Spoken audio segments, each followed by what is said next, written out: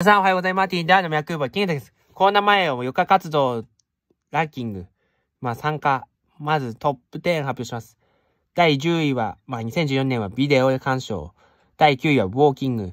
第8位が動物園、植物園、水族館、博物館。第7位映画、テレビを除く。第6位は複合ショッピングセンター、アウトレットモール。第5位はウィンドウショッピング。第4位はドライブ。第3位は読書。第2位は外食。第1位は国内観光旅行。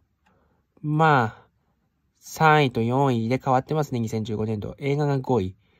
まあ、7位動物、8位音楽鑑賞、9位ウォーキング、10位カラオケ。それじゃあ、この中は何位でしょうかまあ、1位がやっぱり、ステイホームだから料理。2位が音楽鑑賞。意外ですけどもね。3位は読書。これも意外な話。4位はやはり、これは迷いましたね。ウォーキング。第5位は、えー、ヨガ。自宅でもできます。第6位は、ここまでにしときます。5位までにしときます。はい。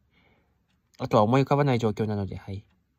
というわけで、えー、コロナ前とコロナ禍の予活活動ランクでした。バイバイ。